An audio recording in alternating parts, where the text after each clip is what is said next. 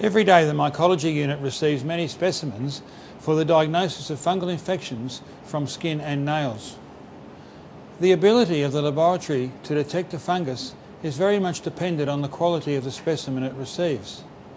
It is necessary to collect an adequate amount of material for both microscopy and culture. Quantity is the most important thing. This short video will demonstrate the proper collection techniques necessary to generate a good laboratory specimen for the diagnosis of cutaneous fungal infections and onychomycosis. Dermatophytosis is the medical term used to describe fungal infections of the skin, hair, and nails. These infections are commonly known as tinea, ringworm, or onychomycosis. They are caused by a closely related group of mold like fungi known as dermatophytes. We recommend the following collection instruments for taking mycology samples. All instruments must be cleaned and sterilised after each collection. A bone curette is ideal for taking skin scrapings from the scalp, skin, groin and perianal areas, and the feet, especially from the toe webs. Old type blunt scalpels are also good for skin and nail scrapings. The new disposable scalpel blades are very sharp and are not recommended. Never send used disposable scalpel blades with the specimen to the laboratory. A good pair of forceps are essential to pluck hairs and loose skin scales from scalp lesions. A pair of scissors or nail clippers will be needed to trim finger and toenails. Finally, we recommend that a swab be taken to pick up any loose skin scales. A moistened swab is a valuable collection tool especially in tinea capitis, and also to pick up loose skin scales or keratin debris after a collection. Ideally, specimens should be scraped directly onto special black collection cards. These allow both the collector and the laboratory to clearly see the specimen. Cards may be then folded and sealed. Firstly, fold the bottom section upwards to cover the specimen. Then fold the top section over to close the card. While holding the card firmly closed, start at the top by bending the adhesive flap back to peel off the backing strip. Then firmly stick down the adhesive flap to seal the card. Do the same with the two side flaps. Finally, make sure that the card is properly sealed and labelled for transport to the laboratory. Fungal scraping kits with black transport cards are available from consumer products. Nail specimens may also be collected into plastic universal containers or into plastic Petri dishes. If a plastic Petri dish has been used to collect the specimen, then it should be carefully sealed using parafilm. Sticky tape should never be used to seal Petri dishes. The only reason for transferring a specimen from a plastic container to a black card would be for transport via the mail. This is often a difficult process due to the electrostatic charge associated with plastic containers. Use a swab to help sweep the specimen onto the card and to pick up any small bits.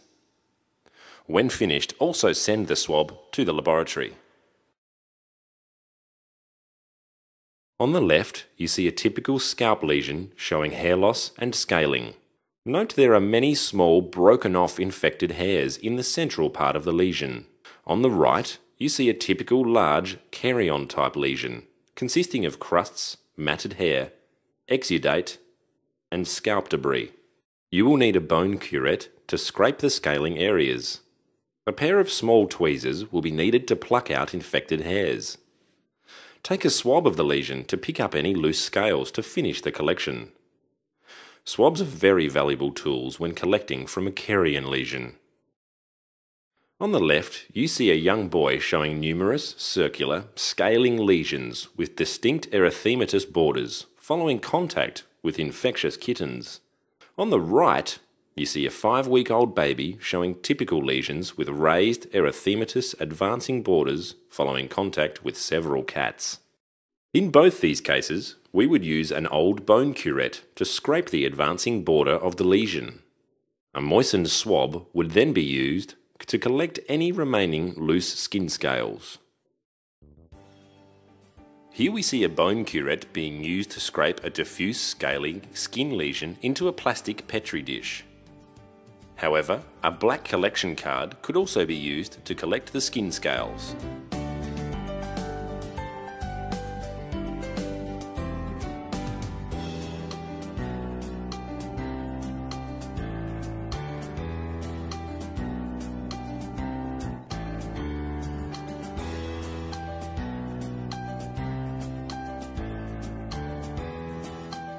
A swab is then used to pick up the loose skin scales.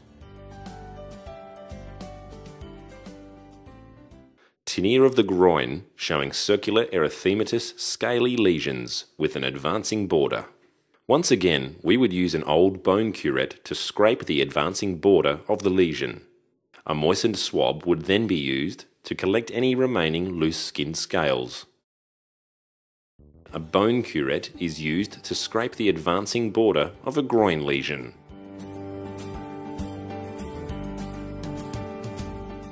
Tinea cruris lesions are usually accessible on the inner thigh.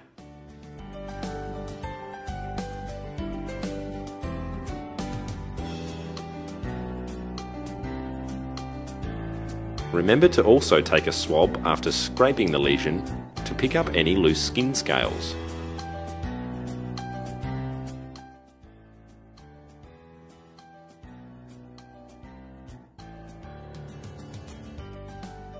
It is important to collect an adequate amount of material. Tinea pedis showing scaling macerated skin between the toes.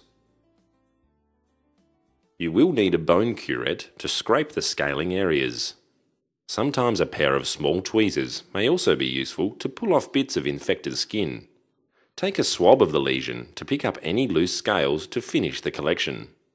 Subclinical tinea pedis is often chronic and may remain localized just under the little toe for many years, only to become apparent when spread to another site, usually the groin or nails. Most people, probably 20% of the adult population, carry tinea just under their little toe. When was the last time you looked under your little toe? You will need a bone curette to scrape the scaling areas and swab the lesion to pick up any loose scales to finish the collection. Vesicular type tinea pedis, showing numerous blisters with a serous exudate. The blister roof is the most important specimen to collect. You will need a pair of small scissors and forceps to detach the blister roof. Also swab the lesion to finish the collection. Tinea pedis showing dry scaling lesions on the sole of the foot. You will need a bone curette or blunt scalpel to scrape the scaling areas.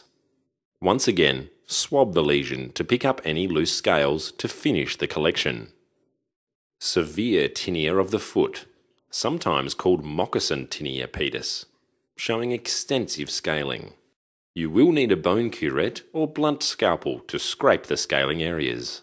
Once again, swab the lesion to pick up any loose scales to finish the collection. Onychomycosis of the great toenail, caused by Trichophyton rubrum. You will need a blunt scalpel to scrape under the nail. Once again, swab the lesion to pick up any loose scales to finish the collection. Place a black collection card under the toe with the infected nail. Then use a blunt scalpel to scrape under the nail until the crumbling degenerative keratin debris is reached.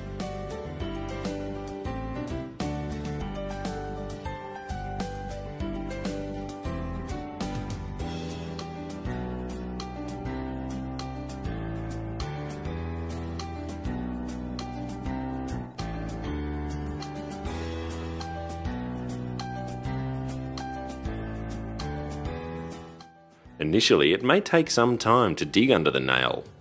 However, with perseverance, you will be able to collect enough material.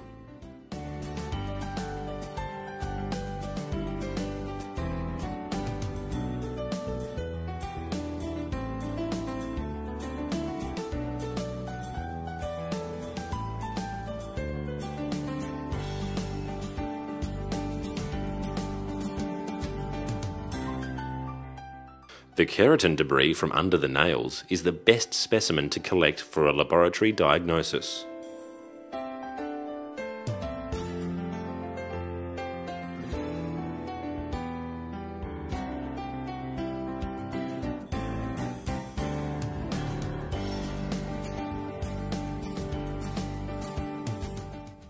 Use a swab to pick up loose debris to finish the collection.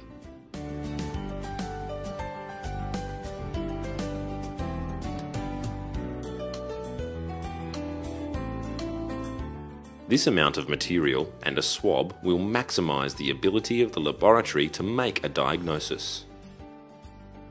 Another example of a nail collection showing the use of a blunt scalpel to scrape under the nail. It's often surprising to see just how much keratin debris is present.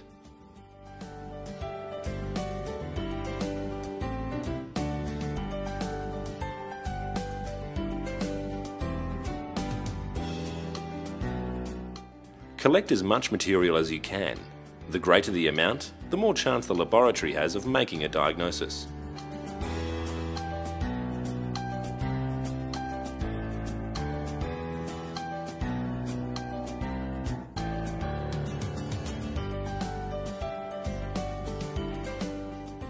Once again, use a swab to pick up loose debris to finish the collection.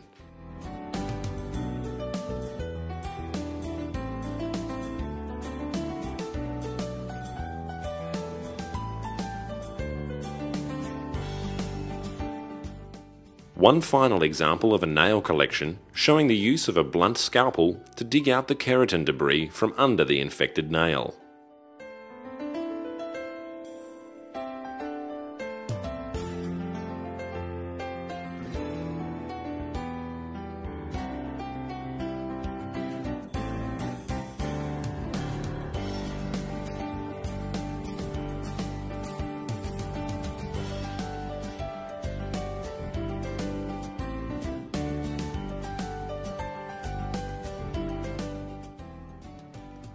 It may take 3 to 5 minutes to dig out enough material from under the nail.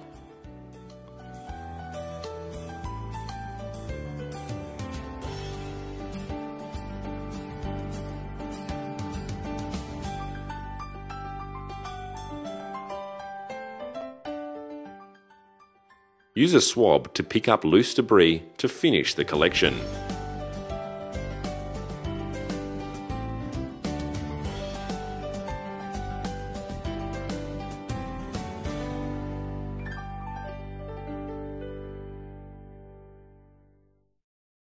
Ability of the laboratory to detect a fungus is very much dependent on the quality of the specimen it receives. For example, the black card on the left, labelled A, shows an adequate collection with sufficient material for the laboratory to do both microscopy and culture. However, the card on the right, labelled B, shows a grossly inadequate specimen, what we in the lab call fairy dust. Please remember, it is necessary to collect an adequate amount of material for both microscopy and culture. Quantity is the most important thing. Finally, always check that the form is correctly filled out and that all specimens are correctly labelled and sealed. Thank you for helping us to provide a quality pathology service to our patients.